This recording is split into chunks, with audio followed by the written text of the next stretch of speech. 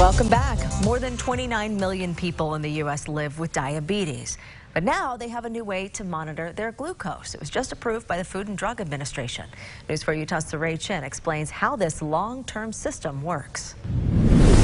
It's called the Eversense Continuous Glucose Monitoring with an implantable glucose sensor that can last up to three months. For people with type 1, it's a rare individual who would not benefit greatly from continuous glucose monitoring. And I think in the year 2018 and beyond, it is the standard of care. So this current system is another step along that path to less painful, less invasive, less intrusive technology that allows people to have to know their glucose levels and act on them. The Eversense Continuous Glucose Monitoring, or CGM, features an implantable glucose sensor and provides long-term continuous monitoring for up to three months. Made things more pleasurable for my life and just doing what I was doing. Um, I think it's it's awesome. Made you more aware of what, what times of day you tend to go high or low. Uh, it was very positive. Doctors and patients say it's an easy process,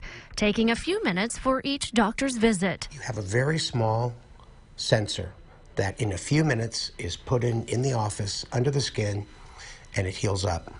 Then you put over it a transmitter. The information is then sent to your cell phone. If you're away from your phone, the sensor can give body alerts, a vibration telling you when your sugar is high or low.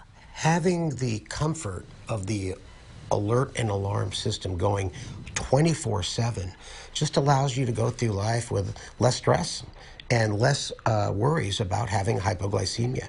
Doctors say patients with diabetes can greatly benefit from continuous glucose monitoring, but often not used. They say it's just one more thing to consider. In the newsroom, Saray Chin, News 4, Utah. The Eversense CGM is for patients 18 or older. It's intended to complement, not replace, those finger stick blood glucose monitoring.